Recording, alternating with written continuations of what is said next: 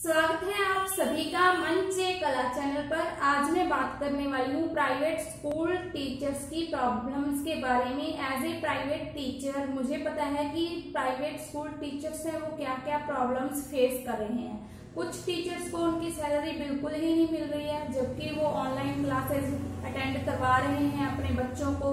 कुछ टीचर्स हैं जिनको जॉब से ही निकाल दिया गया है, कुछ हैं जिनको हाफ़ सैलरी मिल रही है।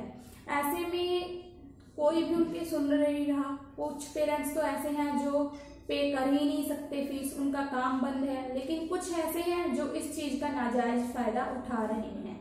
तो ऐसे में बेचारे जो टीचर्स हैं, कुछ टीचर्स ऐसे हैं जिनके घर का गुजारा है जो टीचर्स की सैलरी से ही होता है, उनके घर पे और कोई अर्न करने वाला नहीं है।